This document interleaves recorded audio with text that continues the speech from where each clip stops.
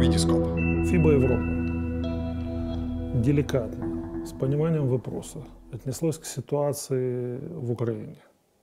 И когда принималось решение о том, что э, в связи с вот такой вот обстановкой в стране, экономической ситуацией, с э, ситуацией, не позволяющей безопасно э, находиться в ряде территорий страны, принимало решение, еще раз повторю, очень деликатно.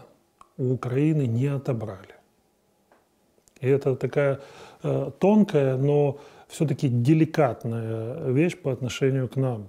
У нас не забрали, от нас перенесли, и нам предоставили приоритетное право в случае, если мы готовы проводить, взять к себе Евробаски 2017.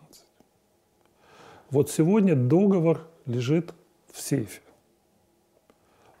Вход за нами.